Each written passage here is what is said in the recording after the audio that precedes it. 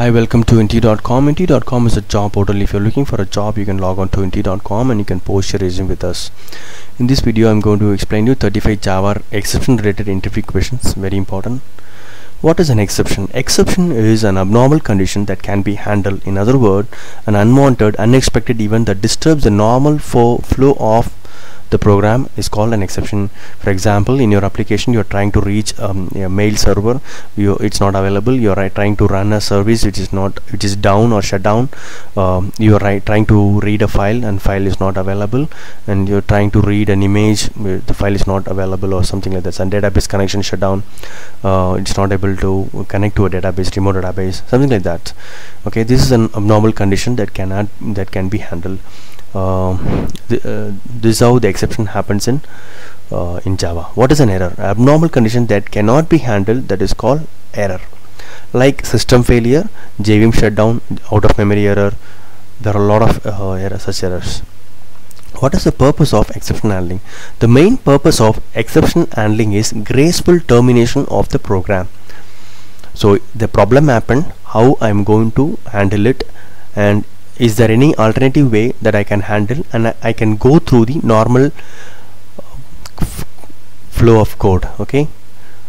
Gr graceful or if it's not possible how do I terminate properly like logging everything properly uh, and shutting down and uh, releasing the resources that I've used okay what is what is meaning of exception handling? Exception handling doesn't mean repairing the exception. We have to define an alternative way to continue the rest of the code normally. That's how that's what the exception handling means. What is the purpose of try block? We should maintain the try uh, we should maintain the risky code inside the try block. While you're reading the file from the hard disk you can put that particular code the code that reads from the uh, hard disk. That code you can place it inside the try block. What is the purpose of catch block? We have maintained all the exception handling code inside the catch block.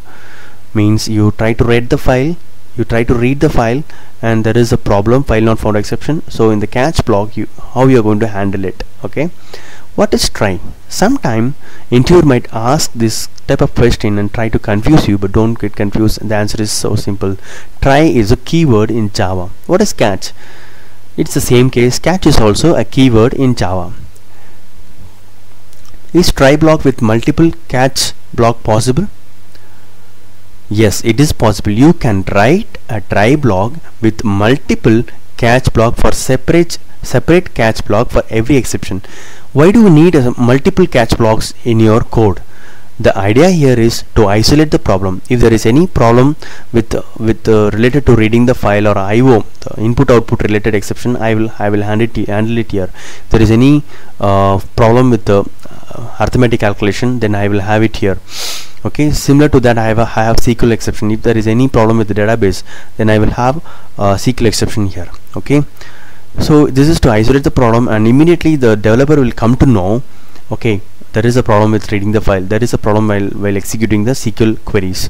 So it's like easy for the developer to understand and go to the exact code and it will it will help you to resolve the problem in a short time. That's why we need multiple catch block in your code okay?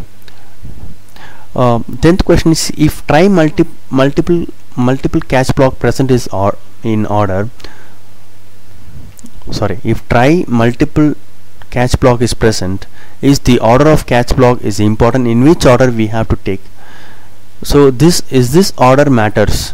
Can I place the exception above and IO exception down? That's what the question means.